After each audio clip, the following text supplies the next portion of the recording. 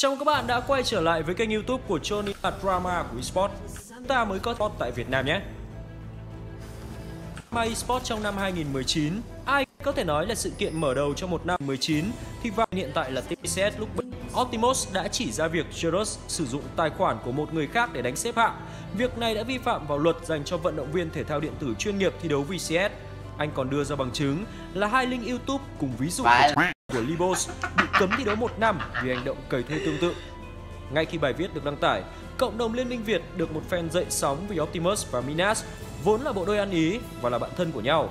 Sự việc ngay lập tức tạo nên hai luồng ý kiến trái chiều. Một phía cho rằng hành động của đội trưởng SKD là hoàn toàn đúng.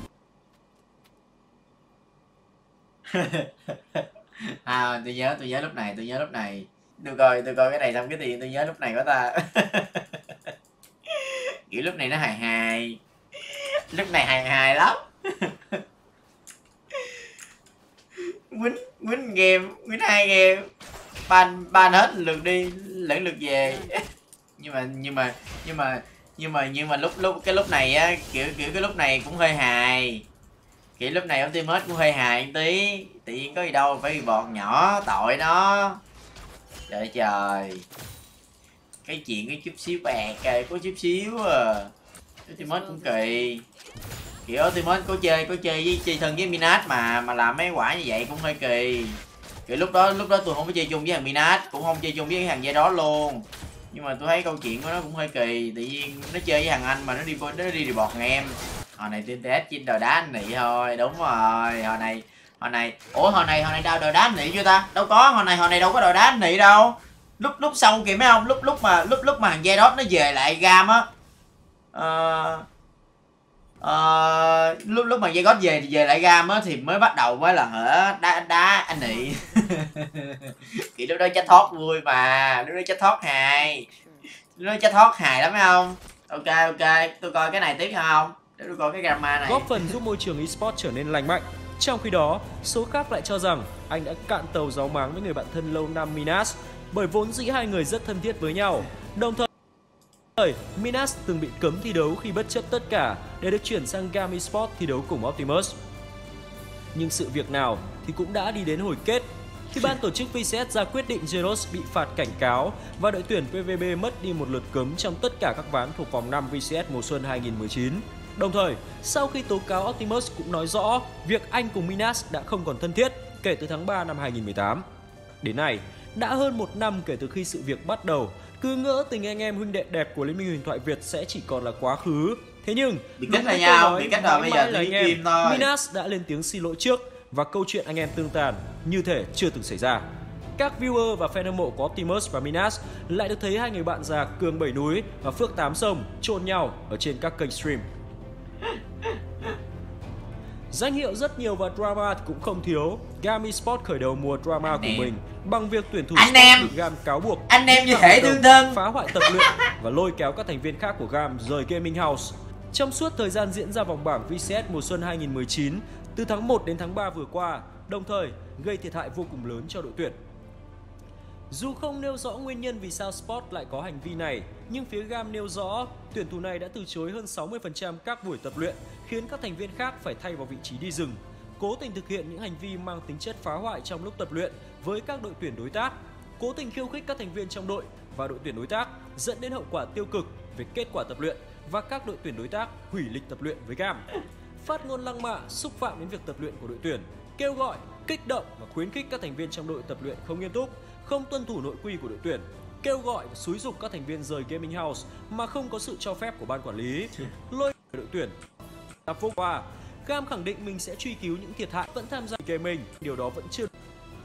Gam Esports và phong vũ Buffalo và jeros và chuyện tình tay ba đi hay ở. Lại tiếp tục là jeros với những drama của Liên minh Việt. Thật khó có thể tìm được một tuyển thủ có duyên với các án phạt như anh. Nhưng trước đó, chúng ta hãy đến với nguyên nhân của cứ là do đó thôi. Sau khi kết thúc VCS mùa xuân, thị trường chuyển nhượng lại rôm rả với những bản hợp đồng bom tấn. Đội tuyển nào cũng muốn mang về các tuyển thủ tài năng, bổ sung vào lỗ hổng đội hình. Huấn luyện viên Tini Kun của Garmin Sport cũng vậy. Vị huấn luyện viên máu mặt nhất VCS có vẻ rất muốn có Giroud trong đội hình khi liên tục bóng gió về tuyển thủ này trên trang cá nhân. Cùng thời điểm, Ma Vương vắng bóng trên fanpage của phòng vụ Buffalo hay mất tâm trên sóng stream, càng củng cố cho việc anh không còn là một mảnh của bầy trâu nữa. Chuyện hôm qua là đinh rồi nha mấy ông. ông ơi chuyện hôm qua là đinh rồi. chuyện hôm qua là tôi giải quyết là theo kiểu là ở em đềm mọi chuyện em xui thì thì tôi đã ao team rồi nha. chắc là chắc là phải chờ thêm kiểu chờ thêm một hai tuần gì đó. thì tôi sẽ rồi sẽ thông báo là hở tôi sẽ ao team nha. PVP vẫn im hơi lặng tiếng. Bên cạnh đó thì anh trai của Zeros là Minas cũng lên tiếng về việc em trai của mình bị cô lập tại PVP. Sự việc cứ rằng co qua lại mãi cho đến khi đại diện phía GAM gửi ban tổ chức bằng chứng Zero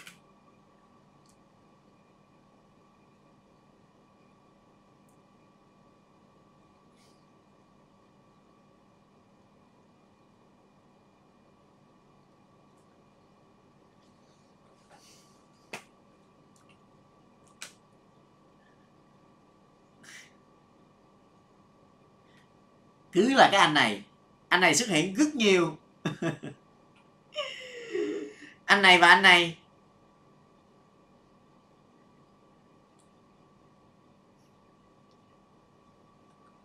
Còn cái hàng núp này là tôi nè. Hả? Ủa dép đi mua đồ. Ôi. Tao mua 6 đôi dép. Mà bây giờ tao không còn giữ đôi dép kỹ kỹ cho em tí nha mắc tiền lắm đó tao không còn một đôi nào luôn đôi dép của em mắc tiền lắm nha anh tú vi phạm hợp đồng với GAM và có hành động đi đêm với đội tuyển PVP. Bí mật về việc Zeros tự ý đến Gaming House của PVP và gia nhập đội tuyển này khi chưa được sự cho phép của GAM cũng dần được hé lộ. Hợp đồng giữa Zeros và PVP tôi không hiểu lúc này không công nhận công nhận công nhận với mấy ông á là lúc này tôi không hiểu luôn á là à, lúc này tôi không hiểu tự nhiên qua qua một người ăn cơm chung thôi. Phạt phạt nhỏ. Lúc này tôi còn không hiểu tôi đang bỡ ngỡ luôn nếu mà phạt á thì phạt hết tất cả mọi người chứ ai mà đi phạt mình nó. Kiểu đi phạt là phạt luôn Duy Duyên phạt luôn Venice. Phạt luôn tôi. Tôi là cái hàng đúp nè. Cái hàng đúp cái hàng đúp sau lưng thằng còi là tôi nè. Pb bị vô hiệu hóa, anh trở thành tuyển thủ tự do, nhưng kèm theo đó là bản án cấm thi đấu 6 trận tại VCS, tính từ khi một đội tuyển bất kỳ nào đó thêm Zeros vào đội hình. Cứ thế, Gam vô tư đòi lại được tuyển thủ đường trên số 1 VCS cho tham vọng xưng vương. Trước đó, đội tuyển này cũng chiêu mộ được Minas và Slay cho đội hình. Và dù bị cấm 6 trận, nhưng đội hình khủng long của huấn luyện viên Tinikun vẫn thực hiện được tham vọng số 1 như hiện tại chúng ta có thể thấy.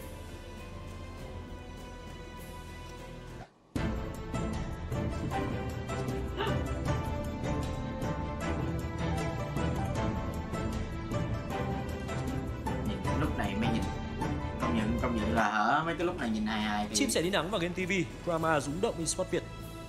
Bất ngờ chia tay đội tuyển gắn bó suốt 10 năm, tuyển thủ AOE lừng lẫy chim sẻ đi nắng chính thức khơi màu cho drama vụ kiện lịch cùng một số thành viên có loạn trong drama team flash có liên quan đều ngay lập tức phô ra viên nội bộ đã chơi xấu sau lưng mình. Và SKD chỉ còn là một cái lục đục của team flash và SKD Đơn chỉ kiến nghị. tên. ủa viết chữ luôn á hả phạm huy phong trời ơi tài này chữ bác sĩ không Là một trong ba đội tuyển hàng đầu của Liên minh huyền thoại Việt, Team Flash khiến nhiều đối thủ e dè khi đối đầu. Nhưng trước khi có được vị thế như hôm nay, Team Flash đã từng trải qua khoảng thời gian ngụp lặn trong drama lùm xùm về chủ sở hữu cũ Trần Nhật Tiến, Stark và Team Flash. Cụ thể, anh Tiến là người gây dựng nên đội tuyển SKD, tiền thân của Team Flash hiện tại. Tố thành viên Stark có thái độ thi đấu phá game, dẫn đến việc Flash mất suất dự chung kết thế giới, cùng một số thành viên nội bộ đã chơi xấu sau lưng mình. Anh còn cho rằng phía sau việc anh bị tố quỵt lương nhân viên là một âm mưu đẩy anh ra khỏi Team Flash. Mặt khác, sự việc như khơi màn cho những góc khuất đằng sau đội tuyển vùng núi. Chủ sở hữu SKD bị nhân viên tố cáo việc nợ lương, không thực hiện lời hứa xây dựng gaming house hay bỏ bê Team 2 với thiết bị tập luyện tồi tàn. Những người có liên quan đều ngay lập tức phô ra những bí mật gây sốc, chẳng hạn như đội trưởng cũ Optimus lên tiếng về thái độ luyện tập thiếu chuyên nghiệp cùng 130GB dữ liệu bí mật về Flash hay huấn luyện viên lúc bấy giờ của GAM chỉ trích Stark với những việc làm trong quá khứ. Ban quản lý đã lục đục, các tuyển thủ cũng bị cuốn theo dòng sự kiện. Trong khi Stark phản pháo những lời chỉ trích về mình, thì một vài thành viên là nạn nhân của việc nợ lương tỏ ra ngán ngẩm về chủ cũ.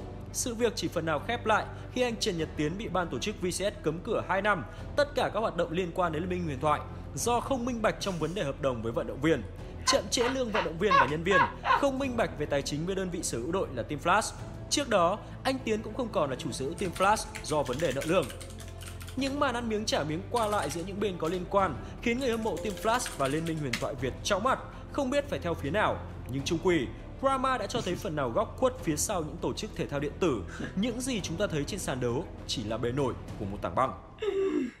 Trên đây là những drama nổi bật của esports Việt Nam trong năm vừa qua và từ đó có thể thấy dù là thể thao điện tử không chỉ là những trận đấu cảm xúc hay những vinh quang mà nó mang lại mà ở phía sau thì nó vẫn còn nhiều Rồi, góc nói khuất nói chung là chuyện chuyện người ta không nói được mấy ông ơi. Anh không có game gamma gì hết cuộc đời anh game thủ bình yên dạ. Trời ơi không. Ông em anh muốn bình yên thôi chứ anh, anh không muốn gọi là hở à, chứ anh không muốn gọi là hở nhiều người biết tới anh, anh muốn bình thường anh muốn là người bình thường thôi. Câu chuyện thú vị.